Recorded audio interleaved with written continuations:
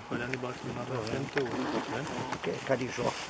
É, na verdade ela é petit pois, né? Montilhada de Tem um tupetinho. Mais ou menos. É grande, né?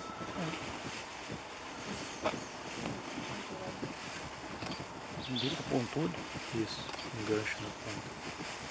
Que é para desarticular os artrópodes. Fosse grande isso aqui, que não. Come Basicamente insetos. Conseguiu fotografar? Acho que dá uma filmagem. Uhum.